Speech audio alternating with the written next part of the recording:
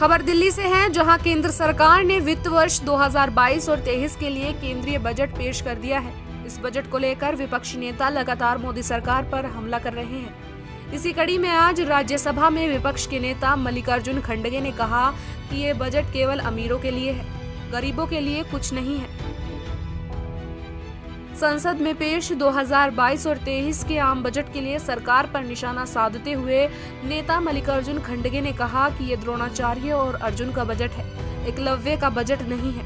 संसद में पेश किए गए केंद्रीय बजट 2022 की आलोचना करते हुए कांग्रेस के वरिष्ठ नेता मल्लिकार्जुन खंडगे ने केंद्र पर कटाक्ष किया और कहा कि ये अर्जुन और द्रोणाचार्य का बजट है, न कि एकलव्य के रूप में। ये केवल अमीरों के लिए है और गरीबों के लिए कुछ नहीं है। इस साल का बजट है 2022 का। ये बजट सिर्फ़ अमीरों के लिए है, इसमें गरीबों के लिए कुछ भी नहीं है। और उन्होंने एक भी को कोट किया, मैं सुन रहा था कि महाभारत का कोई एक कोट उन्होंने सुनाया था कि मैं समझता हूँ ये महाभारत में द्रोणाचार्य और अर्जुन की बजट है, एकलव्य की नहीं है।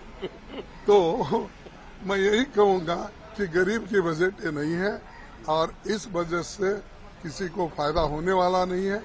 जो पिछले की चीज़ें थे उसको रिपीट कर रहे हैं। इवन क्रिप्टी करेंसी का भी उन्होंने ज़िक्र किया, जिसके बारे में कोई कानून नहीं, कुछ नहीं, सलाह नहीं मशोरा नहीं। ऐसे बहुत से चीज़ें उन्होंने की। वक्त आने पर वो बताएँगे, लेकिन आज मैं इतना ही बताऊँगा कि ये बजट गरीबों के लिए कुछ भी नहीं है। बजट केवल अमीरों के लिए है, गरीबों के लिए कुछ नहीं है। कहा इस बजट में पिछली चीज़ों को रिपीट किया गया है।